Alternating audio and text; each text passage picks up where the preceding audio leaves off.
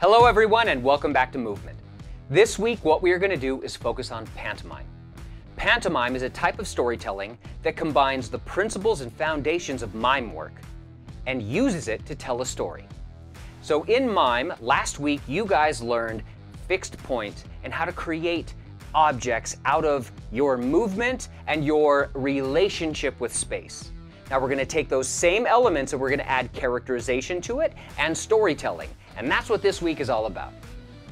So let's get started. Pantomime is storytelling through movement and movement alone.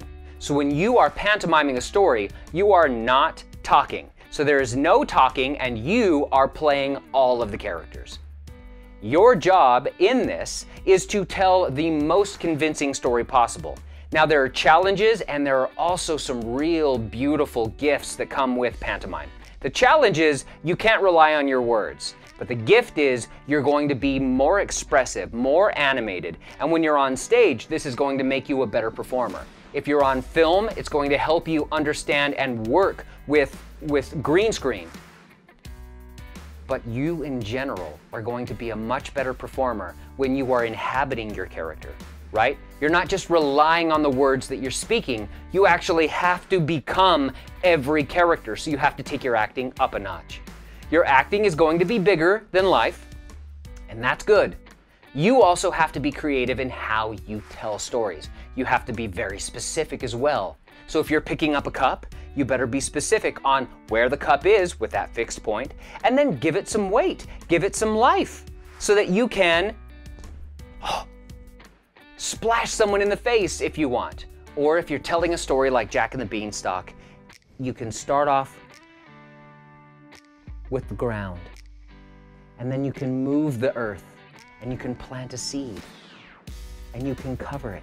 Or maybe this is the earth and you plant the seed and you cover it. And from that, the beanstalk grows. Now, when you are transitioning from one character to another, you can spin, or it's just your belief. Create a physical body and be expressive with your face. Create a full character for each person so they're easily identified, right? Give each actor or give each character within your story a trait. Have fun with the storytelling. See how specific you can be. Don't do something ordinary when you can do something extraordinary.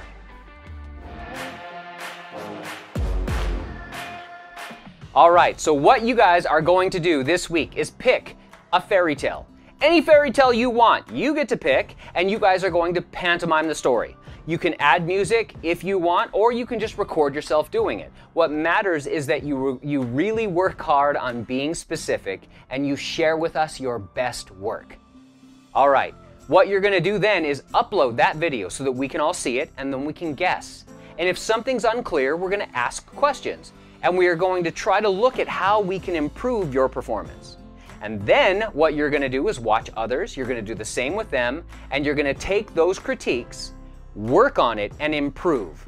And what we're doing is we are always refining. That's what the rehearsal process is. We're taking our best work and we're refining it and seeing how good we can get it and how perfect we can get it before we put it in front of an audience.